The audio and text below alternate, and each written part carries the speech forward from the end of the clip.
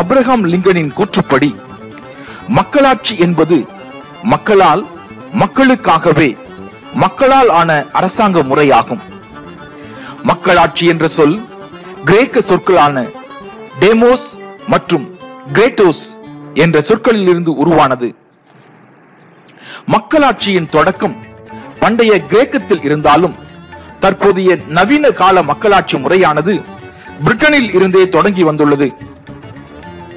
மக்களாட்சியின் பண்புகள் தனி மனித சுதந்திரத்தை காப்பது ஆட்சி அதிகாரத்தை மக்கள் அருகே கொண்டு செல்வது நேர்மையான தேர்தல் சட்டத்தின் முன் அனைவரும் சமம் அனைவருக்கும் சமமான சட்ட பாதுகாப்பு பேச்சுரிமை மத சுதந்திரம் அரசியல் பொருளாதார பண்பாட்டு நிகழ்வுகளில் பங்கேற்றல் அரசாங்கம் சட்டத்தின்படி ஆட்சி செய்வதை உறுதி செய்வது குடிமக்களின் பங்கேற்பை உறுதி செய்வது மக்களின் உரிமைகளையும் சுதந்திரத்தையும் பாதுகாப்பது சகிப்புத்தன்மை தேசத்தந்தை மகாத்மா காந்தியின் வார்த்தைகளில் கூறினால் சகிப்பின்மையே வன்முறைதான்.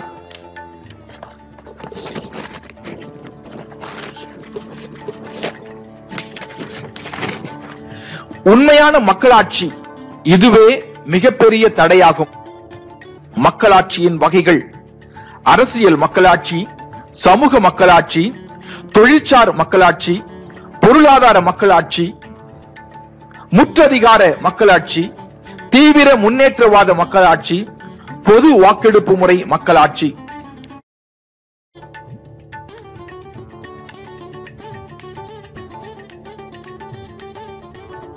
தற்கால மக்களாட்சியின் வகைகள் பிரதிநிதித்துவ மக்களாட்சி பங்கேற்பு மக்களாட்சி. இந்திய மக்களாட்சியின் சாதனைகள். ஆயிரத்தி தொள்ளாயிரத்தி ஐம்பத்தி ஒன்று முதல் பொது தேர்தலின் போது களத்தில் இருந்த கட்சிகள் ஐம்பத்தி நான்கு நடந்து முடிந்த இரண்டாயிரத்தி பதினான்கு தேர்தலில் இருநூற்றி அறுபத்தி நான்கு கட்சிகள். ஆயிரத்தி தொள்ளாயிரத்தி ஐம்பத்தி ஒன்று தேர்தலில் வாக்களித்தவர் சதவீதம் நாற்பத்தி நான்கு புள்ளி எண்பத்தி ஏழு. தற்போதைய சதவீதம் அறுபத்தி ஆறு புள்ளி ஜீரோ நான்கு. இரண்டாயிரத்தி நான்கு முதல் மின்னணு வாக்குப்பதிவு இயந்திரம் பயன்படுத்தப்படுகிறது. ஆயிரத்தி தொள்ளாயிரத்தி எண்பத்தி ஒன்பதாம் ஆண்டிலிருந்து பதினெட்டு வயது பூர்த்தியான அனைவருக்கும் வாக்களிக்கும் உரிமை வழங்கப்பட்டது.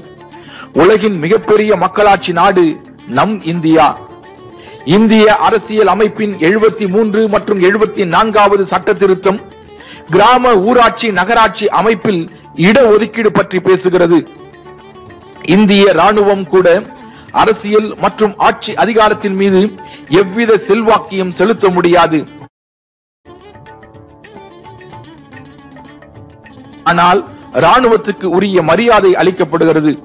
இட ஒதுக்கீடு அடிப்படையில் பிரதிநிதித்துவம். சராசரி ஆயுட்காலம் முப்பத்தி ஆறிலிருந்து அறுபத்தி ஆறு எழுத்தறிவு சதவீதம் பதினெட்டு புள்ளி மூணு சதவீதத்திலிருந்து எழுபத்தி மூன்று சதவீதம். தெற்காசிய அளவில் இந்தியா வல்லரசாக உருவெடுத்துள்ளது. தனிநபர் வருமானம் இருநூத்தி எழுபத்தி ஏழாக இருந்த நிலையில் இப்பொழுது எண்பத்தி எட்டாயிரத்தி ஐநூத்தி முப்பத்தி மூன்றாக உயர்ந்துள்ளது. இந்திய மக்களாட்சியின் சவால்கள் எழுத்தறிவின்மை வறுமை மதவாதம் மத அடிப்படைவாதம் பாலின பாகுபாடு பெண்களுக்கு எதிரான வன்முறை அரசியல் வன்முறை சீர்திருத்தம் செய்யப்படாத நீதித்துறை மற்றும் நிர்வாகத்துறை வளர்ச்சி திட்டங்களில் மாநிலங்களுக்கு இடையே பாகுபாடு காட்டும் மத்திய அரசு அனைவரிடமும் சரிசமமாக சென்றடையாத வளர்ச்சியே இந்தியா எதிர்நோக்கியுள்ள சவால்கள்.